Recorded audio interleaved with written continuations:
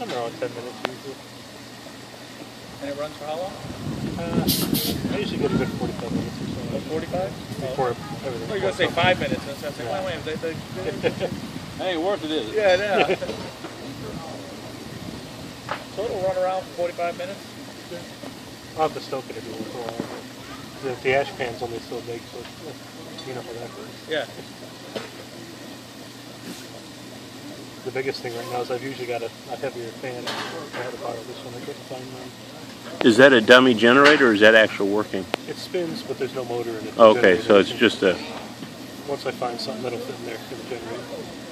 So you stole the, uh, the uh, Bumblebee. Yeah, that was off of one of the projects project engines that was laying around.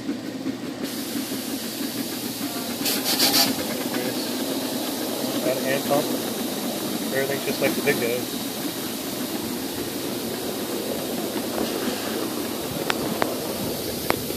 Oh, everybody's using the Brunswick 2 already, huh? they didn't wait.